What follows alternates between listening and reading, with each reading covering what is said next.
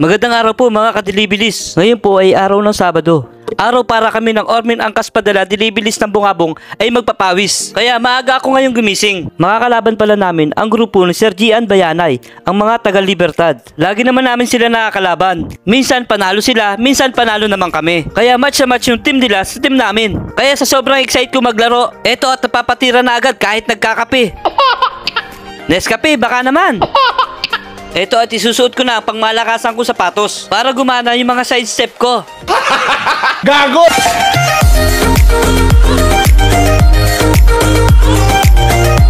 Siyempre, hindi mawawala ang tubig para sa mga taong uhaw sa pag-ibig. Mga kadilibilis, naglaban na pala ako kagabi. Dahil ngayong araw ng Sabado, simula alas 8 ng umaga hanggang alas 6 ng hapon, ay mawawala ng kuryente. Kaya walang makakaagaw ng corona ng Mindoro, ang binansagang brownout capital of the Philippines.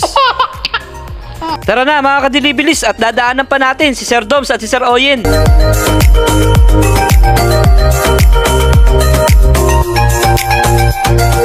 At nandito na nga tayo sa bahay ni Sir Dom sa may BB1. At sa naghahanap dyan ng itlog, wholesale at retail, ay punta lang kayo dito sa Dom's Fresh Egg and Variety Store. Pagkatapos natin daanan si Sir Doms at si Sir Oyen, ay daanan na rin natin si Sir Jay. At nandito na nga tayo sa Bungabong Gymnasium. Wala nang intro-intro mga kadilibilis. Simulan na agad natin ang laro.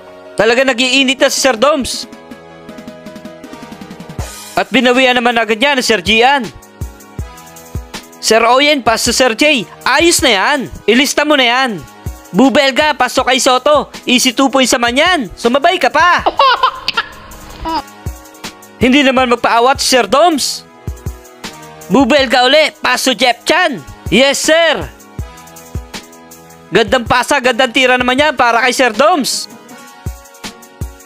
Jeff Chan uli yan. Ringless yan. Kaya naman naman yan, naagawan si Bubelga. Isablay mo, isablay mo. Basta na lang inihagis, buti pumasok. Felix Dakat naman yan. Kapus, pasa lang pala yung kay Sir Doms. Sir JR naman yan, nice drive. Kay Soto, libre-libre, dadakdak na. Kaso nag-joke. Sir Aris, pass to Sir J. Baka the gambling lord yan. Bumawi naman agad si Kevin Ferrer sa side.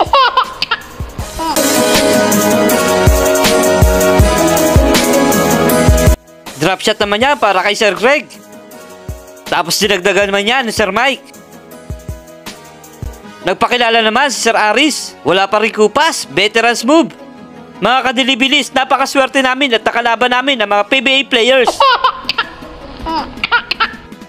At dito matatapos ang laro namin mga kadilibilis. Maraming maraming salamat Sir Gian Bayanay sa malinis at magandang laro. Nice game mga pre. Next time uli. At salamat din sa grupo ko sa Ormin Angkas Padala, Dilibilis ng Bungabong. At syempre, naglugaw na rin kami pagkatapos namin maglaro. At ngayon naman mga kadilibilis, dahil brownout ngayon maghapon, ay nagyaya ang mga anak ko na mag-swimming. Sabi ko ay dito na lang tayo sa bahay mag-swimming at ilalatag ko yung swimming pool nila. At mas makakatipid pa kami. Tapos sayang din yung swimming pool nila kung naka-stack lang ito sa bodega. At baka mangat-ngat lang din ito ng mga daga. Ito nga palang swimming pool nila mga kadilibilis ay 5 years na. Medyo matagal-tagal na rin. Pero okay pa naman ito. Sulit na sulit mga kadilibilis kahit 5 years na. Kasi hanggang ngayon ay nagagamit pa rin namin. At ito na nga mga kadilibilis, sinisimulan na natin na lagyan ng tubig. Maghintay lang tayo dito ng mga 2 to 3 hours bago mapuno. Medyo matagal-tagal rin.